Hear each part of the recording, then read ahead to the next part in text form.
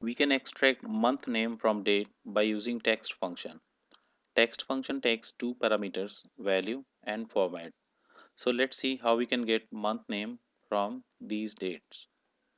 Formula that I will use equal to text bracket and in first parameter that is value I will select date then comma now I want month name so for that second parameter I will use inverted comma and 4 times m.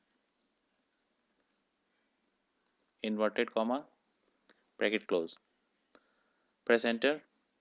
We can see that by using text function we have got the month name from given date. I will drag this formula down. And this is how we can make use of text function to get month name from given date we can use text function to get month name or month in some other format also. Let's try one more example. I will use equal to text bracket. Then i'll select date comma. This time instead of giving m four times i will give just two times.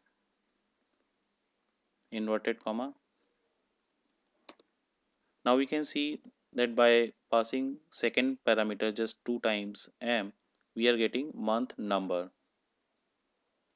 And I will drag this formula down.